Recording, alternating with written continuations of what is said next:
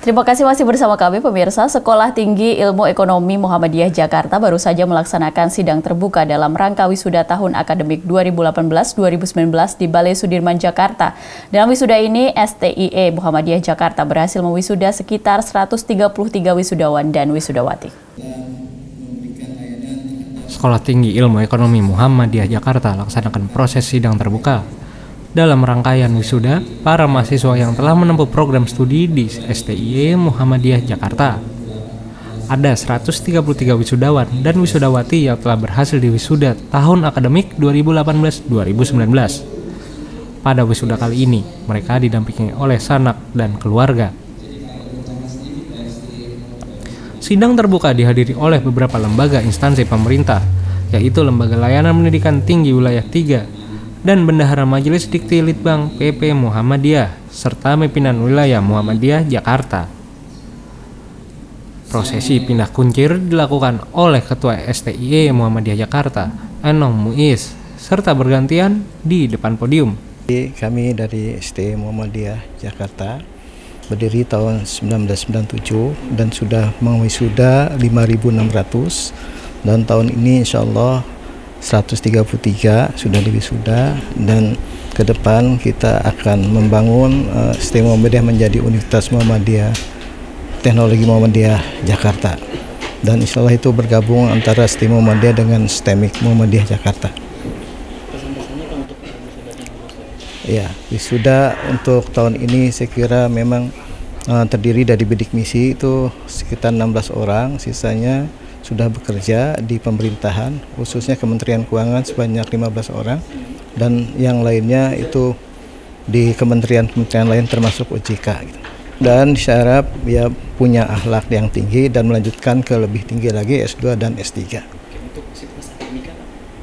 Ya, sivitas akademika semua saya kira dosen diharapkan 2021 sudah menjadi S3 semua dan karena sekarang sudah sedang menempuh ke S3 itu sekitar 12 orang.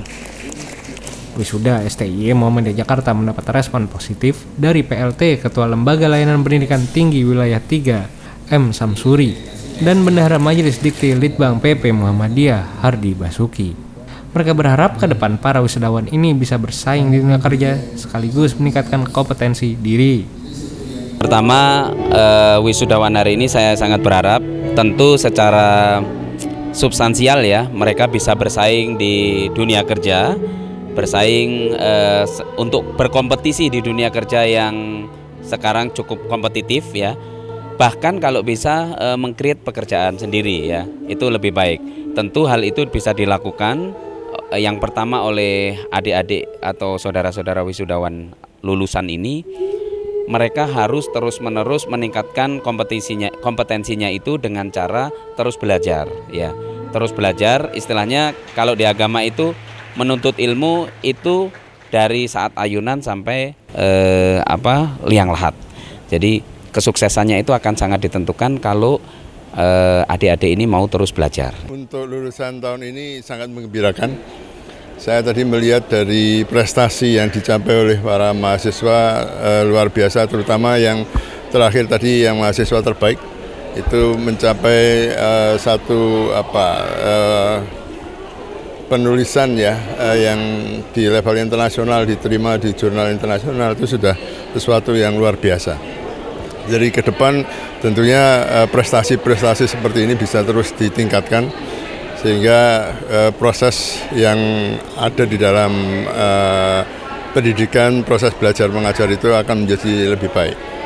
Sekolah bisnis ini terutama uh, memang diperlukan satu peningkatan dari sisi kelembagaan. Jadi akreditasi itu ditingkatkan terus supaya bisa uh, proses produksinya itu nanti semakin baik semakin baik. Kohar Ariski, Yunus Priyonggo memberitakan dari Jakarta.